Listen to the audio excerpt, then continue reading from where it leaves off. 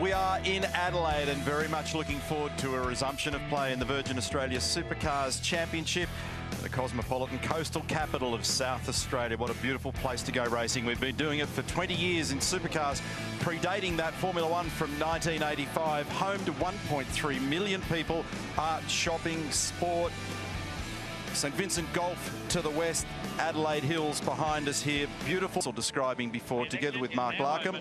Riana Crehan in the team with us as well. Cars now rolling out onto the racetrack. You're going to hear the word new a lot for 2018. New season. There's a new Holden Commodore. There are 13 new chassis. That represents half of the field. New war paint, new drivers. There's a new tyre, new rules, a whole bunch of new to talk about. But one thing that remains consistent is we're going to have the same old great supercar racing, exactly the same as we left off at the end of the championship year last year when we wrapped up at the streets of Newcastle, that incredible grand finale that saw Jamie Whincup grab his seventh astonishing Supercars title. 26 drivers, five of them are, as we described a little earlier downstairs, rookies, but highly credentialed. Many of your favourite drivers out there as well. Two of them have done all of these events in Craig Lowndes and Garth Tander. Jamie Whincup is the supreme victor at this location. He's got 10 race wins to his credit. So what this session is going to be all about is understanding year-on-year -year change. We've got the brand new ZB model Holden Commodore. It's going to behave differently. We've got a new tyre that Mark Larkham walked us through. It will behave differently. So will the racetrack. It's been resurfaced between turns seven and eight. Drivers will need to understand. You can actually see a little bit of the join in the road there on the exit of turn eight what the impact of that is on the grip levels of the car. Right here in the braking area to turn nine has been one of the popular spots for passing over the years, and we've seen some wild stuff. Joining me once again in the commentary for 2018, looking forward to another huge season together. Mark Skaife, you've been a multiple winner at this location. Great anticipation at the very beginning of a championship season with so many wonderful things to talk about. Good morning and welcome to you. Looking forward to getting the action started. Good morning, Neil. I'm 100% with you there. I love the first session on the streets of Adelaide. It's a genuine form guide. We've got lots of tyres, lots of new cars, lots of new drivers, lots of new liveries. And the anxiousness of hanging around for the last couple of days. Drivers have been doing media commitments, sponsor commitments, fan engagement. And it's all now the serious end when you get on board and attack this place as you just said, it's a 3.22k layout, very difficult, huge levels of commitment, very bumpy. It's the fourth bumpiest racetrack of the year.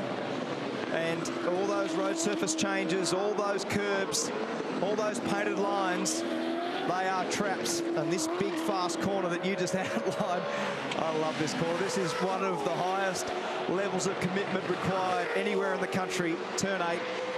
And as you said, down to turn nine, one of the best passing areas. Shane Van Gisbergen, the reigning Adelaide 500 champion, is on screen. Turn nine. This is the new Commodore, a very different shape to the previous model. Fastback design. This is 18 months in the making, this project. Behind the scenes, it's been a dual engineering function that's been unfolding at Triple Eight Race Engineering, who are the Red Bull Holden racing team. They've done all the homologation, the initial design work on this car and they've worked in the background as they've continued to race in one half of the team. It's about a $1.2 million investment to get the car to this point. Preston Hire have got one of them. In fact, there are 14 of these new cars in the field. Separate to that, there are 13 brand new chassis, including a brand new Nissan. There's a couple of brand new Falcons out there as well. Fabian Coulthard has one.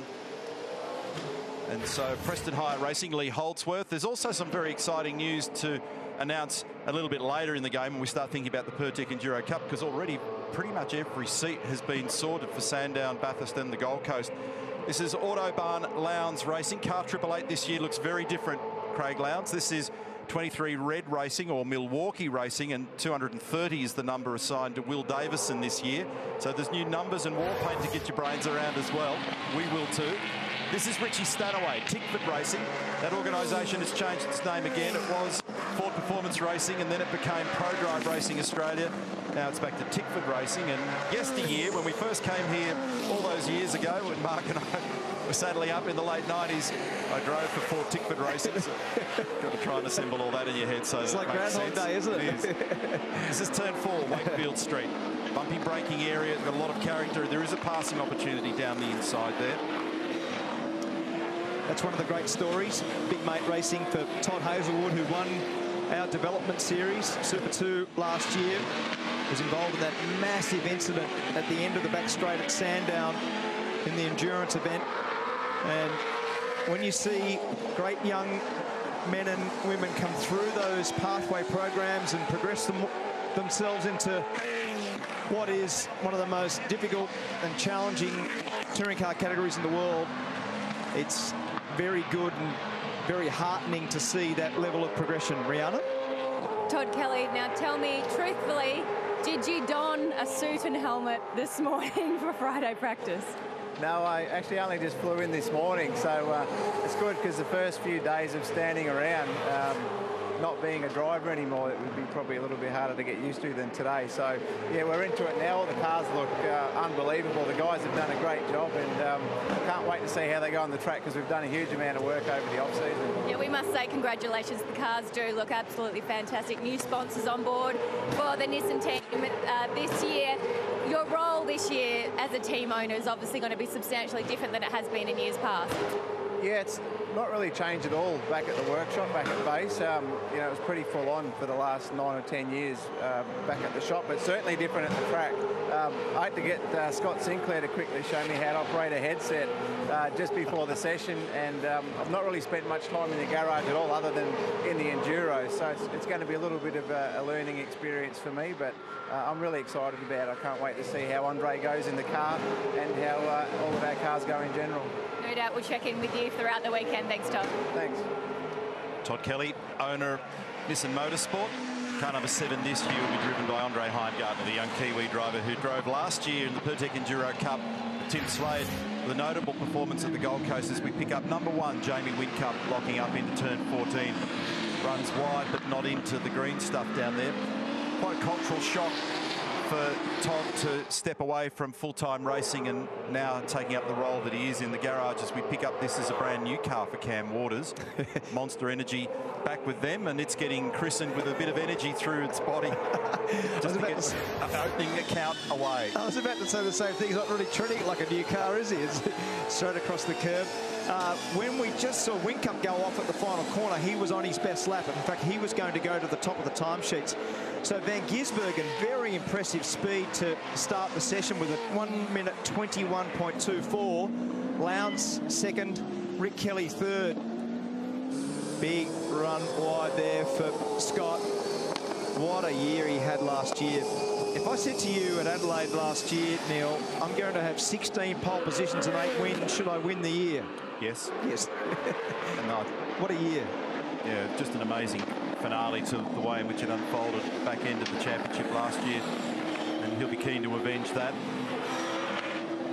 Shane Van Gisbergen, if you recall, 12 months ago, had an unbelievable, a stellar weekend here with two poles and two victories, an absolute clean sweep. And had you done an assessment at the end of this weekend in 2017, you would have said that Shane had continued where he was from 2016. Then he had quite an up and down season. So testament to the weirdness that is this business sometimes. Car number 78 on screen. This is Simona Di Silvestro. She's got a new engineer this year. Blake Smith no longer working alongside her. Chris Stuckey will be on the radio and coaching her through the process. This year will be good now because she's repeat cycle visiting tracks that she was looking at for the first time last year, and that's always difficult.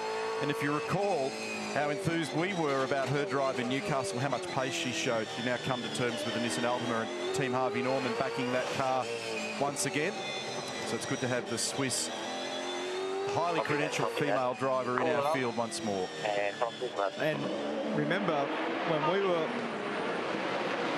spruiking how well she was going, she was on for a fifth, a fifth position in Newcastle. She made some incredible passes down the inside of some of the real hard heads. She fired down the inside of Courtney. She fired down the inside of Slade. She fired down the inside of Garth Tander. So in terms of her I would call level playing field performance because everybody was a rookie in Newcastle.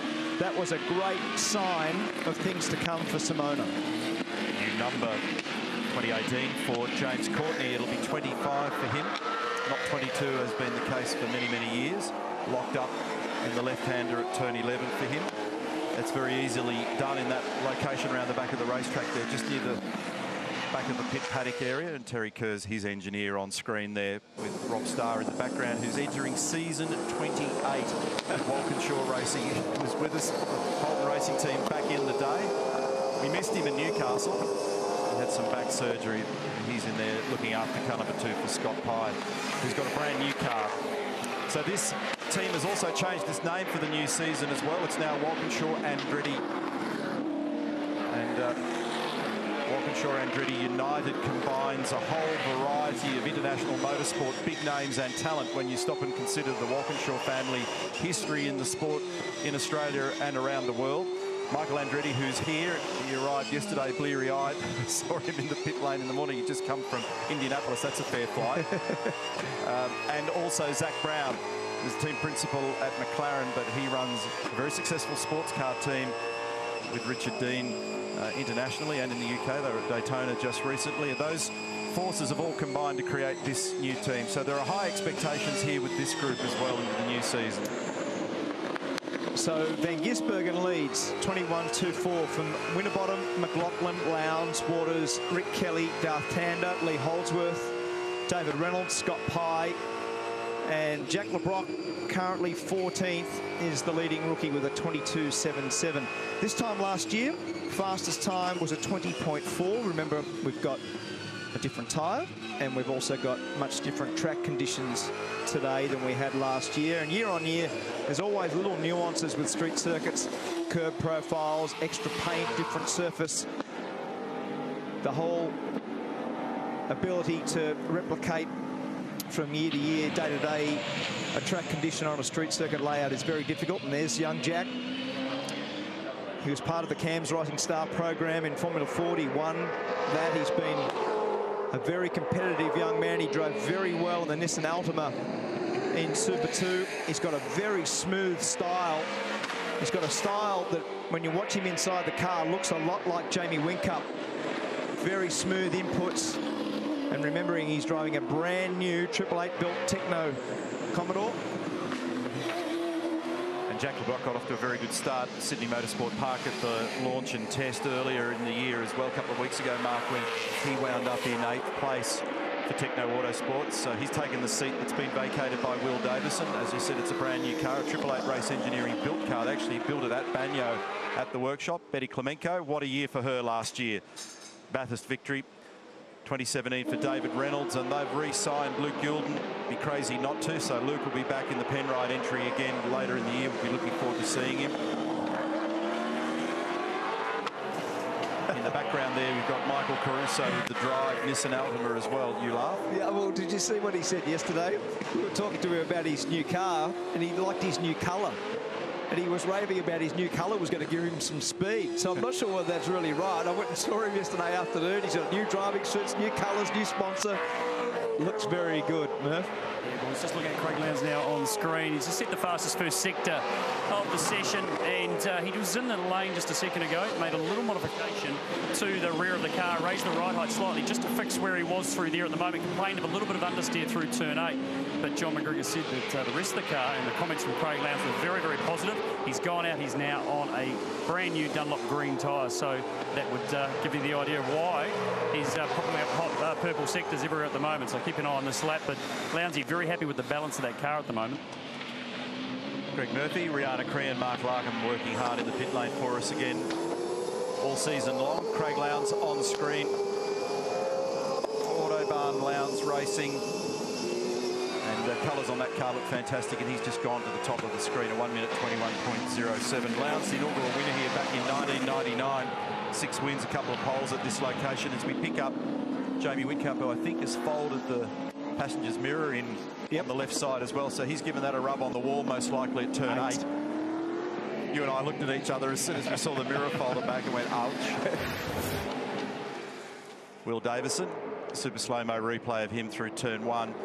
And remember that when we get to qualifying later this afternoon, track limits will apply through here. So one of the other things that the teams will be doing at the moment is they'll be monitoring timing very carefully to make sure that the way in which you position the car between one and two is millimetre perfect because if you get that wrong, you can clean bowl yourself in qualifying and then your weekend gets off to a filthy start.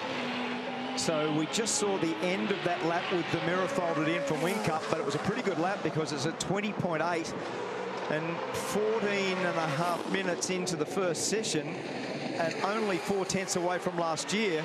That's a very, very fast time. So Whincup 20.8, Lowndes 21.0, Van Gisbergen 21.2, Mark Winterbottom, the first of the Fords, with a 21.45. Will Davison, good job. Up into sixth with a 21.75. Rick Kelly and Michael Caruso are eighth and tenth. They were third and fifth in the first session last year, respectively. So good pace being shown by the Nissans.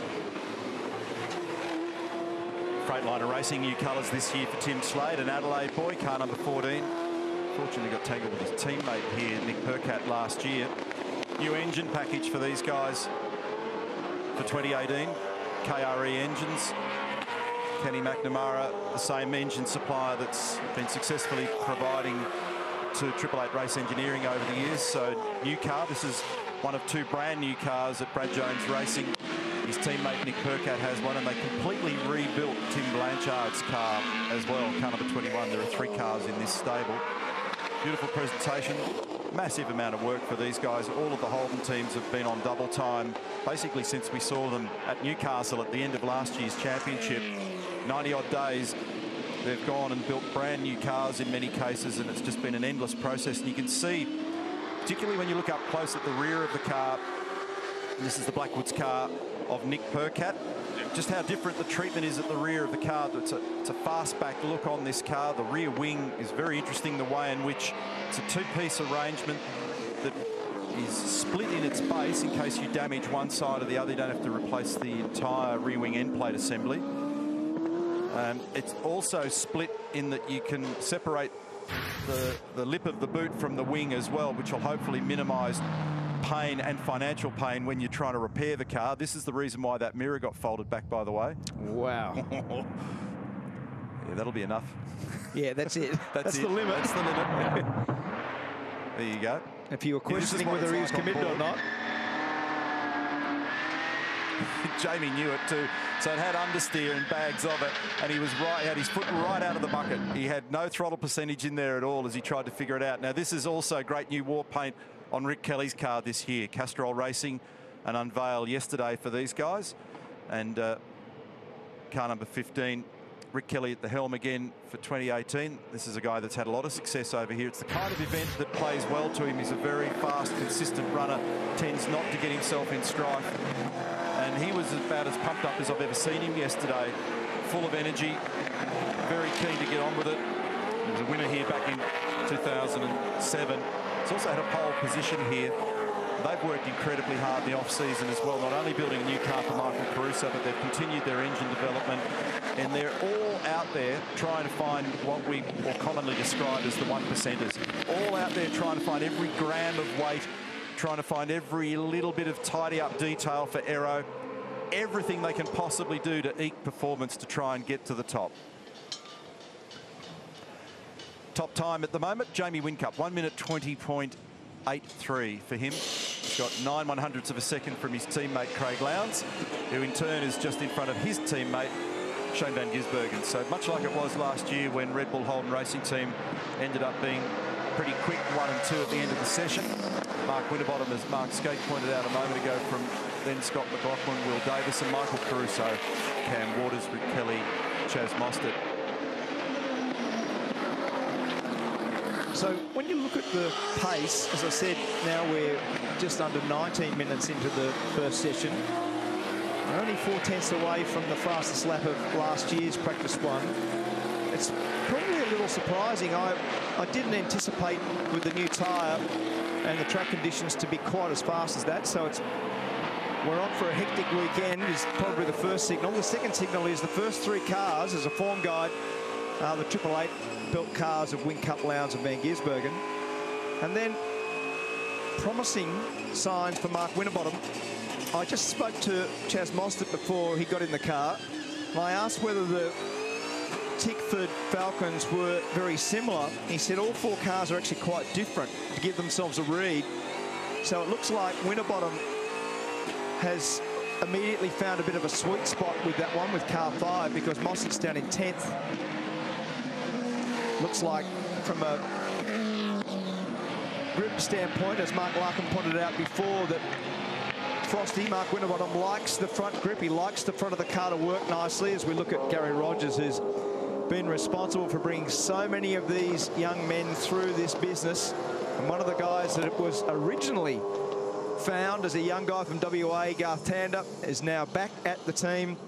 And he's the elder statesman as a 40-year-old alongside as a 22-year-old from Victoria. And the young man, the rookie, James Golding. It's a pretty good look at the rear wing assembly on that car there as they dive in and start to extract data from Garth's car. So there's the end plate, the adjustability, and you can see the lower plane on the wing is actually a two-piece. So if we sneak around the corner here, you can see that it separates in the middle. There's a little metal strip in the center of it. So if you damage it, you can break it into two pieces. And then um, what you can't see is the way in which it attaches to the boot is the what's described as the gurney flap on it as well, which just gives you extra downforce. There you go. There's the joint. Beautiful workmanship. Gorgeous. Beautiful quality. Yeah. The roof is as well very impressive to look at. And um, looks very much like the way in which the S60 Volvo was done, the way there's an apron on the rear of the car. David Cauchi was actually lead design on the ZB Commodore. They also did a lot of CFD or computational fluid dynamics. Say that in the morning 20 times fast without a lot of coffee. And uh, so there was a huge amount of computing power that was involved in the process. What does it do? Tell us what it does. Well, it helps them simulate the cause and effect of uh, the airflow over the car. And uh, they try and do as much as they can in bench testing. It's gone silly in here pretty early in the game, folks. And uh, so there was a lot of work done behind the scenes. They engaged Wirth Engineering in the UK to do that, who've been involved years back in Formula One and also in big sports car programs. They've got a problem with the left rear hub here. It's easy to cross-thread these wheel nuts and uh, they have an anti-seize on the hub and they coat the wheel and the nut ev with every application but it's very easy with the horsepower that the guns have if you don't feed them onto the hub properly, you cross-thread them, and that's making a lot of metal there at the moment, so that's actually a half a nightmare. But the way in which the nuts are built, they're done in such a way that it's the thing that fails first rather than damaging the hub, because you get a much bigger invoice when you have to fix the hub. That's right. The wheel nut's softer than the hub. Yeah, yeah, yeah. So one, one gets hurt. And now you can't even blame Nathan Hindmarsh and Alistair Lynch for that. They were the guys doing the pit stops last night on the Nissan, so we can't even blame them for cross-threading anything. We thought that that was very funny. Those guys really were great sports last night doing the pit stop competition as we look at Scott McLaughlin, a little replay now, turn four, and a big moment. He's going to make the fence. That's a little mistake. He was wide the whole time, and it comes back to this. Watch this on board now. So what actually happened is the bumps unsettled the car. So when you have to reduce the pedal force, the amount of braking that you can get done, you end up arriving at the corner too fast, and the result is you go off the road. So we're looking at the cause and effect there. So the cause was really unstable over the bumps, and the effect was whacking into that wall, and so they'll need to have a long, hard look at the left rear corner of that car now. Bearing in mind also that McLaughlin went into the turn one wall on the outside at Sydney Motorsport Park at the test. Right front tyre failed. They'll have a, a, good hard look at that to just make sure that nothing's been dislodged because what they can't afford is for the wing position to change and uh, also just look at left rear geometry as well. So he'll be pretty frustrated with that. But it started when the car got out of sequence over the bump. You can actually see it look it was pitching up and down quite a lot in the rear. And uh, so that's an awkward start for him. He's currently sitting in fifth position just behind Mark Winterbottom. But the interesting thing, you know, when you make that point, is it actually hurts your confidence a little bit. I mean, they're little, the little mistakes like that. That's twice exactly, and he's that one there was this is Percat Park. Now, whether did he understeer in too fast there and make the fence, or is he just stopped? I'm stuck. Got no reverse. Can't keep stalling. David Coulthard did that in the McLaren. He did some years ago. Yeah, mate, copy that. The guys are running down here now. They'll try and push you back and then get you going. Adelaide Fly Cam on top of the spot there. So I, I, he may have fired in there and he was saying he couldn't grab reverse, but uh, he sorted it now. So if you arrive too hot, here's the replay. Watch the rear of the car. Right there, see the real, quite a violent bump and rebound cycle over the bump, and then it's the rear of the car gets high and light. Can't stop, so you've got to reduce the pedal force. A lot of cockpit fiddling going on here as well. Yeah. No big deal. I mean, it's just a it's a flesh wound, but it's an annoyance, is the point that Mark is making. It just takes minutes out of your program. And, and as I said, there's a little bit of a confidence one in it too, because you it'll take a little while to get yourself back to being under brakes as deep and as aggressive as you would like. It's a, there is definitely time to be made there. And that was a little mistake from Scott McLaughlin early in the piece, Murph.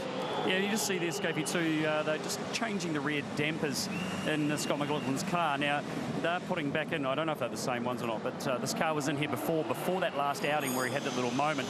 And they changed all four dampers in both McLaughlin's and Coulthard's car just before he went back out and had that little issue down there. Don't know if that's uh, related at all, but as you can see, they have actually gone and taken uh, those dampers back out and put another pair back in. So not sure what they're looking for, if that has uh, made a significant issue, but um, they are making changes there. The damage to the back of the car is very superficial, I think, at this stage. They're not looking at anything more to do with the rear wing or the mountings on the, the rear guard or the bumper. So uh, just making that one change and we on his way back out there. Yeah, so this is actually starting to hurt them on the clock. We're going back into the Erebus garage here. We had the angle grinder out a moment ago. Here we go. It reminds me I must make a dental appointment, annual checkup. So that's not a good sign in the middle of a practice session having to go through this process.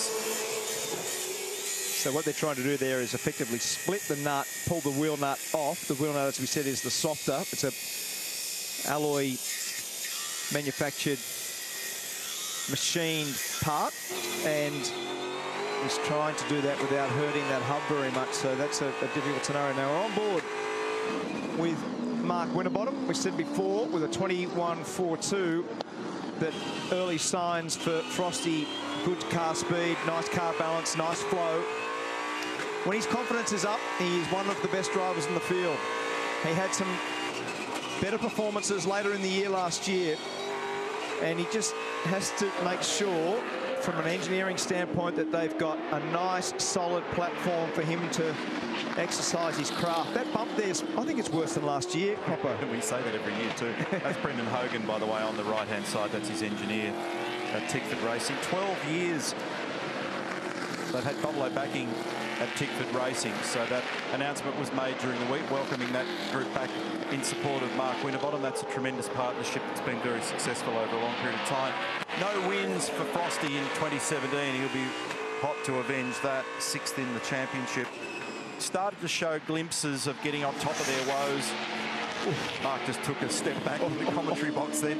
In the back half of last year's championship, there, there were more bright spots, so that was encouraging he hasn't always come away from this location as a happy camper either. And when you leave Adelaide and you haven't got enough points in the bank, it takes a long time to recover very often. He's qualified on the front row a couple of times. He's had a couple of second placings here, but he's never actually broken through for the win. He's currently sitting in fourth place. He's the best of the Fords at the moment. They're all having a bit of a battle. Every time we take that shot down there at the moment, they're all begging for an apex. So there's a real battle to try and get the nose of the car down there and get it online. Meantime, they're just just burning time It's away a down disaster. here at the moment. now, yeah, finally. Look at the amount of swarf and metal filings that are on the ground there. It's like a machine shop, doesn't It does, doesn't it? Yeah. So now they need to be very careful that when this wheel does come off, watch this, he just brushes. No, he didn't. I, I thought he, he actually made the comment over the radio that he did. The resurfacing, see it right there is where the resurface ends. Now we're looking at the sectors from last year. Now the car's right out on the slide. Look at the dark surface that's currently under the wheels. Car's sliding to a little bit wide, so just outside the exit line, the perfect exit line. On the slide, a little early on the exit, and just in that last little phase, it goes so close. Another coat of paint, and that would bump the left-hand rear quarter on the McDonald's sign. And he actually said over the radio that he bumped the fence. So that's how close it was.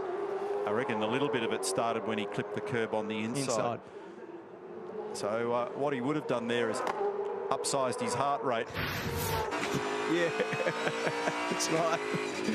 Very true. because that place is totally unforgiving if you end up wiping that wall down there. We've got a lot of cloud cover out there at the moment, about 25 degrees, by the way. So track conditions are good. It's a very light breeze, only about eight or nine kilometres an hour at the moment. Quite humid, it's quite warm outside at the moment.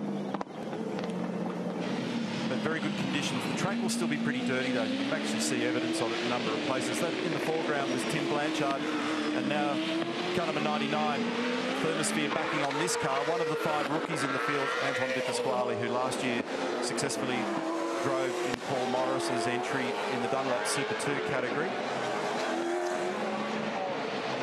He's got a bit of vigour about him, this young bloke. He drove very successfully in Formula 4. He won the Formula 4 Championship, went to Europe. Mark Larkham actually helped him a lot. And he won the Northern European Championship in Formula 4, which was one of the most difficult and demanding junior categories in Europe. So he's highly credentialed. He's very fast. He's got a bit of swagger about him. He's one of those young blokes that he's not overawed by the task and the names and the demands. He'll shake a few up this year. He's a funny style of guy. He drives the car beautifully. He's got really nice inputs. In fact, Dave Reynolds said yesterday that he thinks there'll be certain places that Dave actually learns a little bit from Anton because looking at his style, he's got a very smooth way of achieving the speed from the car. But in terms of his racecraft, this is going to be a big step up. And for all these rookies this weekend, although we talk about this as an endurance race, this is like a very, very fast, harsh sprint race. Julian Stannard with the beard, centre of the shot there a moment ago. He's the engineer for Tim Slade on screen, and the reason we picked him up, he's on brand new tyres. Done the best sector of the session so far in the first sector. We've got eight minutes and 20 seconds remaining. Personal best for him in the mid sector. And you'll see that information on the bottom left of your screen. So two personal bests and a session best sector for him puts him to, uh, right up near the top, position number three, one minute 20.9. Got probably a little more curve than he wanted through the left-hander at turn 11 there, and that then dropped it off the back of the gutter right here on the exit curb. Boys are all uh, looking to exploit the full width of the racetrack at the moment, aren't they? As we find Will Davison here, car number 230.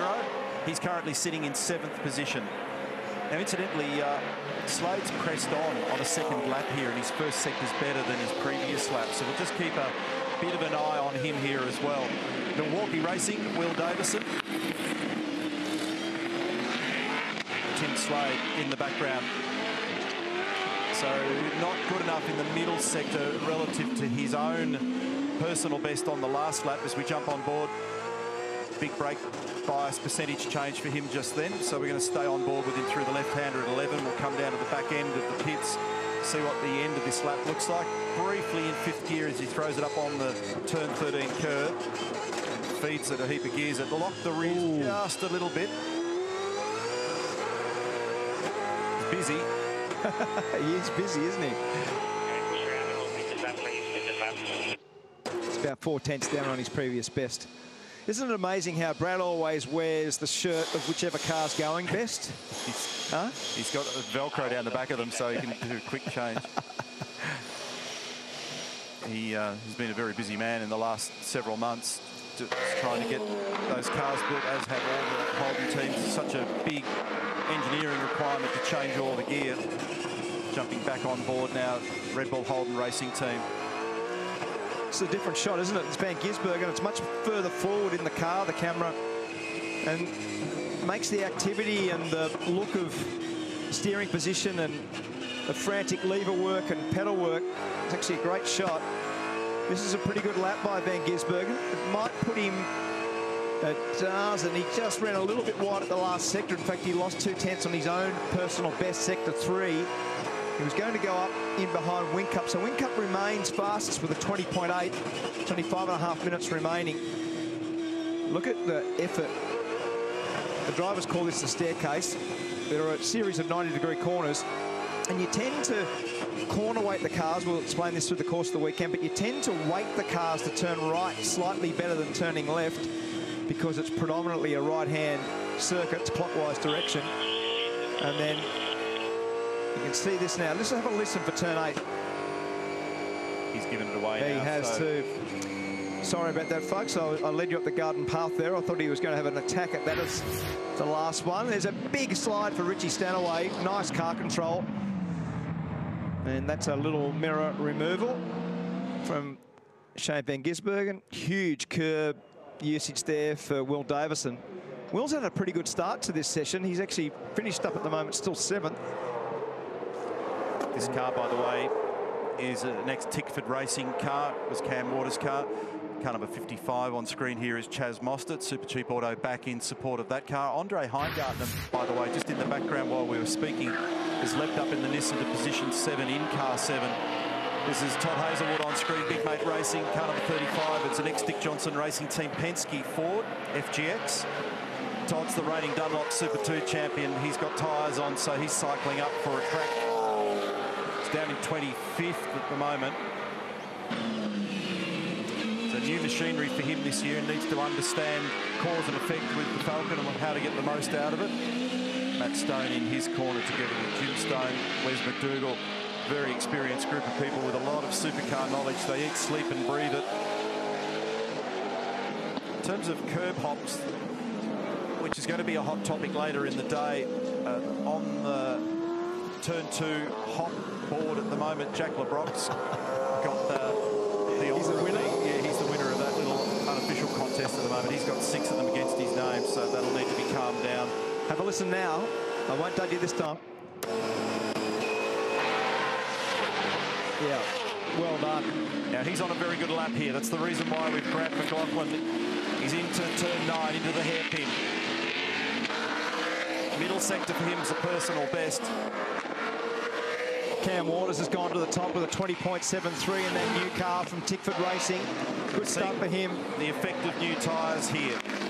They've got an extra set allocated at the beginning of the day, right to the very edges of the track for him into the final corner. McLaughlin. So time looks encouraging. Waters is the top man at the moment. He's just been displaced by McLaughlin, who's done a 20.5. That's just a fraction slower than the best time in the corresponding session last year. McLaughlin, Waters, Whincup. Now look at the ride control variation compared to what it looked like before there in Wakefield Street in the braking area. Don't need to be an engineer to see that it's much better than it was earlier on. So that change that they made has helped the stability under brakes for that car.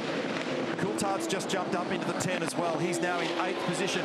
Whincup is responding. So he's gone faster in the first sector than any other as we focus on McLaughlin into turn eight once more. It's a great bit of racetrack. It's 245 kilometre an hour run in as we now find Jamie in the braking area at nine. So he's a little further down the road than Scotty at the moment. He currently sits in third place with two minutes and 10 seconds remaining in our first of two practice sessions today. Car looks good, riding the curbs beautifully. He's a little bit slower, correction, faster than his own personal best in the mid-sector Whincup. He just missed the apex then, but it's actually going to cost him on the last corner, Neil. It's going to be very close. McLaughlin's at the top at the moment. Now Whincup eclipses. That's a time, a 1 minute 20.1, three tenths faster than the best last year. McLaughlin's come in. So Whincup McLaughlin Waters. What David a great Cauchi. session. Huh? Great session. Lowndes is in position four. Then Tim Slade, Van Gisbergen, and Heimgartner, Pye, Coulthard, Rick Kelly is 10th. Turn four, Chaz Mostert, Super Cheap Auto Racing. He's in 14th position at the moment. After Newcastle last year, went to Thailand, drove in the BMW GT car for a victory. Trained very hard as his dad, Ed, in the off-season. Well, Chaz has trained hard. I'm not sure about Eddie. And uh, I said to Chaz yesterday, can you please eat something? Because it's just making the rest of us feel ordinary. He's pretty lean at the moment. He's fully committed through turn eight. Mid-corner speed at eight. It's about 220 odd kilometres an hour as we find Whincup. This is going to be a Some very good lap. with here as he gets into the final corner. He's got Caruso and Winterbottom in the foreground. He's right in under the rear wing of the Nissan, which has got new colours with drive.com.au on it this year. So Whincup looks to improve. His middle sector's the best we've seen so far. And he does a mighty job for a 120.16 that was better by a whisker than his previous. He just rushed into the final corner a little bit, but Slade's on a, oh, sorry, with Van Gisbergen's on a very, very good lap also. There, oh, that's as close as you get without wiping the mirror off. The right-hand mirror's already gone. We saw that earlier. He overrun the braking area there at turn nine. He's wrecked that lap. He's about seven or eight hundredths of a second slower in sector two. He'll finish the lap off probably. Stanaway is getting a good form guide in behind there. Watching his compatriot Kiwi at his best. Van Gisbergen here was brilliant. Remember last year, he just missed the apex again. So the slow corners are hurting Shane Van, Gisbergen.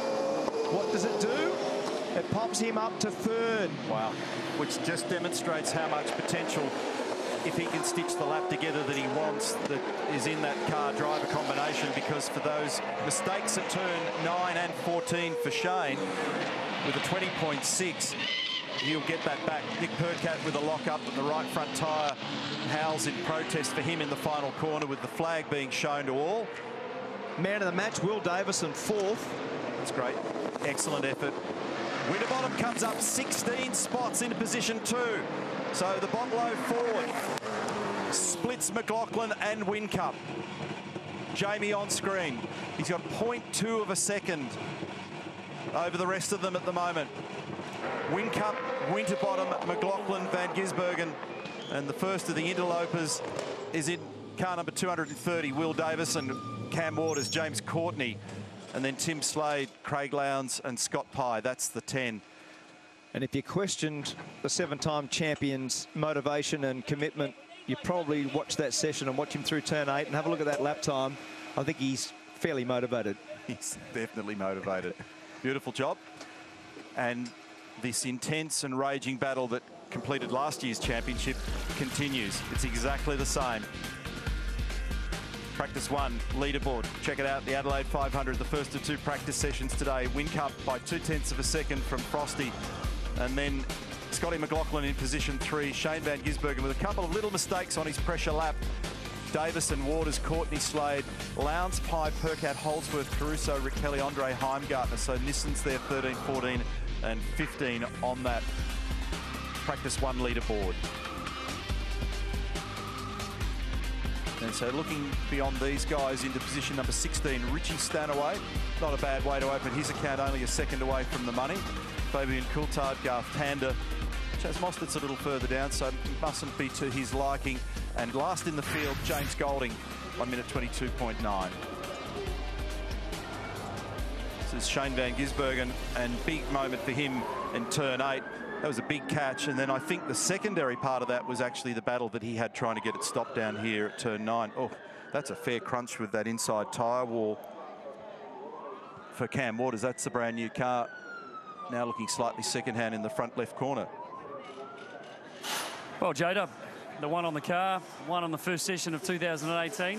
Motivation looks pretty good out there. Yeah, good way to start the year, of course. Um, we've been doing some pretty big work over the over the break on the on the mechanical side of things. So we're um, yeah, really, really in a good place to start the weekend. He didn't do too many changes by the looks of it. Watching uh, throughout that session, car looked pretty stable and in good space early on on the old tyre, and the new tyre responded nice. Yeah, yeah, because we new new tyre, so we don't really have a batch. So we're using these old tyres. Got to be careful because the balance on them is nowhere near the same as uh, as the current batch. So um, we just we just just kept it calm and put the new batch on, and the car's pretty good. Got a bit flighty through turn eight there, mate. Uh, early on in the piece too. It was pretty interesting. Yeah, it was a little bit early to scrape mirrors through there, a little bit early. So uh, I backed it off a bit, but we're going to have to up it as the weekend goes on. Thanks, bud. Thanks, mate. Cheers.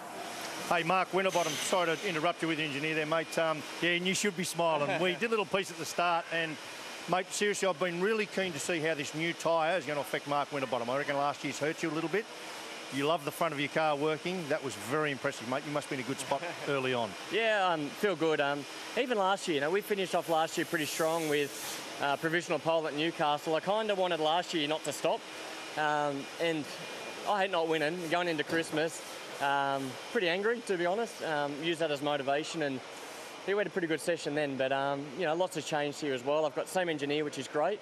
Uh, a new data engineer who's very good as well, and um, you know, we're just having a go, which is nice. Nice to be back up the top of the timesheets, although it's practice. But um, yeah, feeling good. So uh, I want to want to go racing. Early instinct looks good, mate. Well done. Yeah, cheers, buddy. Andre Heimgartner season 2018 is officially go, and uh, you've had your first hit out in the Nissan Altima. Your thoughts?